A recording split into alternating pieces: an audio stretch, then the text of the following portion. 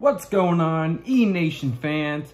This is the IanPerez48 here. Welcome back to another episode of Racing Topics with the Ian Perez, and I assume this is the 43rd episode. I could be wrong. I never focus on what number of the episodes this is. And today, we are going to be talking about the NASCAR Bristol Dirt Monday race. I was going to say weekend, but yeah.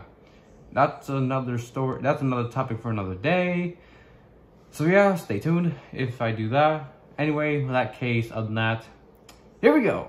So, yesterday we just had the the Bristol dirt races at Bristol.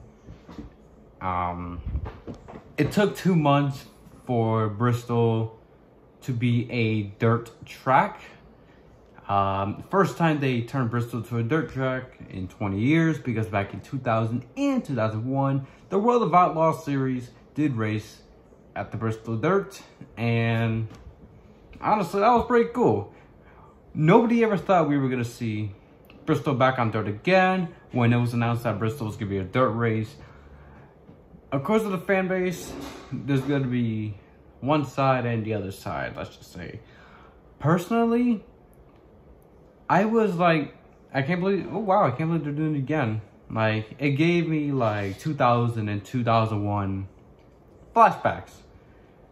Like, that's the only thing that it made me feel. I didn't hate it. I didn't like it. I didn't know. I didn't really know what to think about uh, Bristol being a dirt race again. Personally, I thought I saw this as a, oh, hey, this is pretty much going to be a test for Cup to see if they can do like more dirt races in the future. That's how I saw it. And um and here we are now after two months of Bristol being a dirt track after all the various dirt races for the Bristol Dirt Nationals to happen before the Trucks and Cup races. Here we are with the Trucks and Cup. And I know I said I won't do race reviews because I suck at those. So, all I can tell you is my thoughts about trucks and cup. Alright, so let's get to a truck race. Honestly, once again, trucks have been very, very disappointing this year. What do I mean by that? Uh, this year, it's been nothing but a wreck fest, caution fest, and all that. Um, I know Atlanta was a boring race. And even without Kyle Busch being at that race, I would still avoid uh, the truck race Atlanta because I said that I'm not going to pay attention to the full season of NASCAR except Xfinity. Because Xfinity is still good. Other than that, I'm, I'm watching certain trucks and cup races. And I was hoping that truck race at the truck race at Bristol Dirt would be good, and guess what? I don't know. I don't want to say it sucked, but let's just say it was just like 2020, 2021 truck season. A caution fest, a wreck fest. The racing was okay at least. Truex was just dominant because, hey, Jing. Um, but hey, the only good thing about Truex winning was that he became the 36th driver to win a triple threat of the top three series. So there's a positive on that. So I'm not going to be too negative about a cup driver like Truex winning. Um, my personal opinion about the truck race, it was another wreck fest, caution fest. The racing was okay, but it was not great. It was not good. It was okay, but it was disappointing. So trucks continue to show uh, disappointment of being a wreckfest. I I know in the comments, everyone, people are gonna say, "Oh, Ian, it was just a dirt race. Like, of course it's gonna be like that. Of course it's gonna be a wreckfest in the dirt." I would let that slide and just shrug it off. But I can't because when trucks did Eldora starting in 2013, everything went well. There was no problems we actually had good racing. Not as such. Like, first two years, like, it was just green racing, green flag racing, good racing. Few cautions. 2015 I don't think it was that bad with the, the, with the cautions.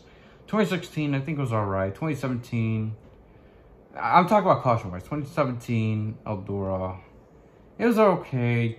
2018, I don't know. I don't remember too much. Um, I would let that slide, but I can't because it wasn't really like that for some Eldora races and trucks. So personally to me, trucks, disappointing. Were there uh, positives from it? I don't know. Normally, I would try my best to look at the positives of like something going wrong, but I can't think of anything. I really can't think of anything positive about it. All I can say is thankfully everybody's okay and all that. And after the truck race, there was a tussle between John Hunter Nemechek's chief, uh, uh, not chief, John Hunter Nemechek's team and Matt Crafton's team because earlier in the going, Matt Crafton got into the back bumper of John Hunter Nemechek and then Derek Kraus and Timothy Peters piled on and then John Hunter Nemechek showed his displeasure while the safety truck hit John Hunter Nemechek. Oh, what a bad day to be John Hunter Nemechek. I know he's got a baby coming up. That's good for him, but what a bad day to be John Hunter Nemechek. How can a thing, how can a situation go from bad to worse? Like, oh, you get wrecked out, or you get piled on by a couple other drivers, and then while being pissed off at Matt Crafton showing your displeasure, a safety truck gets you. What happened was that a safety truck was going down on the track, got sideways, and hit John Hunter. Oh my... That's a bad day for John Hunter, okay? And as for Matt Crafton, yeah, that was just racing. Then there was a, I don't want to say fight. It was more like a tussle between And Nemechek's team. All I know is that like one of the 88 crew members like shoved like John Hunter's team and, and that's pretty much it. After that, it was all like it was a shouting match. Other than that, that was all. So we did kind of get like a piece of tensions at the Bristol Dirt. It was interesting. But other than that, truck sucked. Now let's move on to the Cup Series. For the first time in 51 years, the NASCAR Cup Series returns to dirt racing. And how did that go? All I can say is that it was better than trucks. We did get some good racing. It was good, not great, because, you know, caution fest, but it was not as bad as the truck series. I will admit that.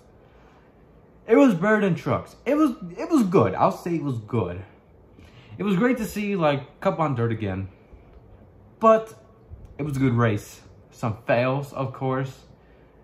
Um um, to see single file restart to NASCAR for the first time since 2009 it was something else, but it did give me the old NASCAR classic vibes. I will be honest about that. Thankfully, it was not like, oh, lap cars on the inside, lead lap cars on the outside, because I hate that single file restart. I personally like double file restarts in NASCAR only, but it was interesting to see single file restarts. It was because of visibility, but honestly, seeing single file restarts, it honestly gave me PTSD on the iRacing Bristol race last year. I'm like, oh shit, it's gonna be like as soon as they were going single file restarts, I'm like, oh shit, it's gonna be like the Bristol iRacing race from last year again. Oh fuck. But it turned out, personally, it turned out to be a success.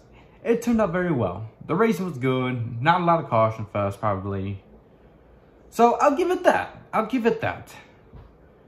And um, I know I've gotten some comments about the Stenhouse and Bubba thing on my reaction video yesterday. Okay, so here's the thing. Yes, again, I've said this once, I'll say it again. Yes, it was not, in, Stenhouse did not intentionally give Bubba a flat tire. I know it wasn't intentional, like, oh, like, Bubba didn't give enough room or whatever the fuck happened, but the thing is, I was mainly frustrated at Stenhouse because Bubba Wallace, everybody knows, like, like, he's in a new team, the new team, 23XI Racing, it's new, and I know, like, he's been improving himself and with the team, same thing with Richard Petty Motorsports, but somewhat better so far, and it hurts to see Bubba get taken out again, tire down. It was painful. And, and even without a caution, it was even worse. It was painful to watch because he was having such a great race. And I know Bubba Wallace is a better driver. I know he's a decent driver, but I know he can be better than decent. I know he can do better. At least he brought the car back in one piece. No DNF, no crashing out, just a spin out. But I really want the dude to finish well with the team. He got screwed out of the top 10 for the third time yesterday. He he could have had to finish the top 10 at the 500, but he had a vibration, was involved in the last lap crash while being a lap down. Phoenix, he had a top 10 run, and then he stayed out on a restart, and that was a bad call, finished like 16th again. And yesterday, I don't I don't like to talk about stages, but he was top 10 in both stages. He could have gotten the top 10 finish, but nope. Another circumstances happened. So I don't want to hear you Bubba haters saying, oh, he's a terrible driver. He sucks. He's another Danica. Nya, nya, nya, nya, nya, nya. I don't want to hear that shit because I know he's way better. Plus, he's way better than Danica, so they're uncomparable. I will do, hopefully, like, if I'm not lazy, I could do a video about that. About Danica and Bubba being uncomparable. Because they're not comparable. Bubba's actually way better. And also reminder, Bubba had nothing to do with the handle. He is not the Jussie Smollett person. If he really did the Jussie, he would be not only get fired from Richard Petty Motorsports last year, but he would be arrested. I mean, he would be fired from NASCAR and he would be charged. That's how fake crimes actually work. You actually do fake crimes, and then when you get caught, you get charged. So there's a reason why Bubba is still in the sport, you know he's innocent. And he's actually a decent driver, great guy and all that. He, this year he shows that he can race. He can do good. He can do better. But circumstances happen when you're in a new team. There's always going to be circumstances while, while for new teams and a driver in a new team.